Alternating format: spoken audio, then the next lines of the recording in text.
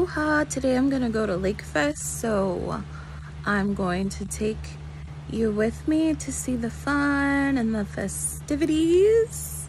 So, follow me. We got the two pregos getting ready for Lake Fest.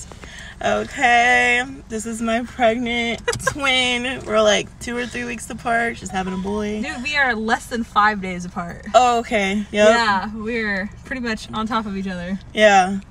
So, we gonna go out here and see what's good. Screaming as I drop the baby starts roasting. Yeah, she's calm under pressure. You can find no one that's better. Your boy's a beast, yet a puppy when it's just her. Nostalgic memories as I reminisce, being lost in thought of being lost in bliss.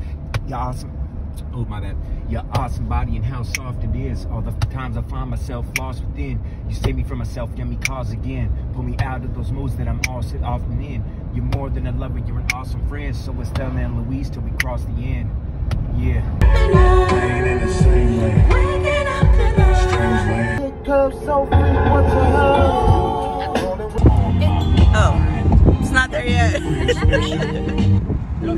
Yeah, we need to get him connected. Were your parents like musicians? Uh, nah, they were Prince fans. hey, beautiful. Say hello. Why you get off? Oh, yeah. This is pretty. Lake Fest. Y'all, should I jump my pregnant ass in? I think I will. Just got on the jet ski.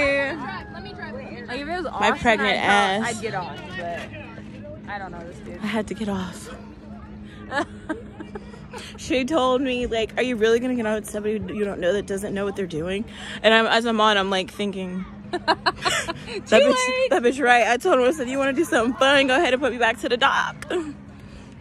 Till like 8 p.m. or 9 p.m. to get in the tent because it was so hot in the tent.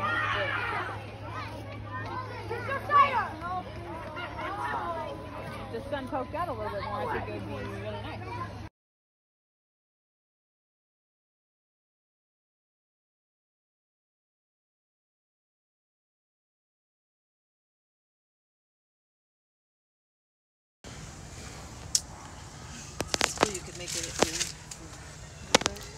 Lots to see.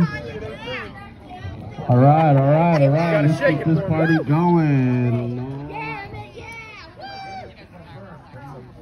They're doing this seafood, seafood boil pretty much. So I will be partaking in that.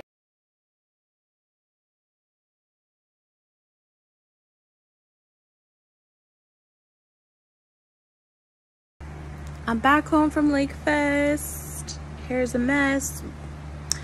But I had fun. It was a good experience and um, some people seem stressed out that were part of the committee, but I can't let that bother my energy. I had a good time around a bunch of people that I've gotten to know living here without within the past year and a half. And nothing but good vibes here, bro. Aloha mahalo.